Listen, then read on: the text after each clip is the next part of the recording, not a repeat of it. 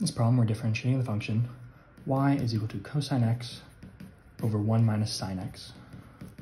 So our derivative, dy dx, is going to be equal to the denominator, 1 minus sine x, times the derivative of the numerator, cosine x, minus the numerator times the derivative of the denominator.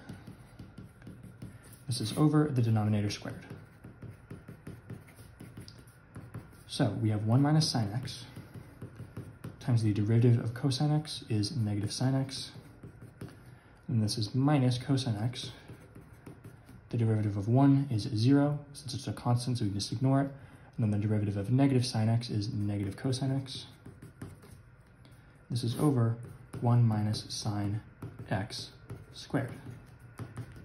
So we have um, distributing this, 1 times negative sine x is negative sine x, plus sine squared x, where the negatives cancel each other. Negative sine times negative sine is positive sine squared.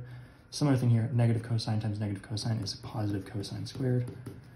This is over 1 minus sine squared x.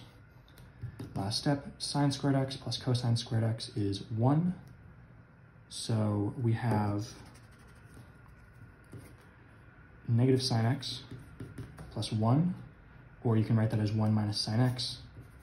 So that we have 1 minus sine x over 1 minus sine x squared.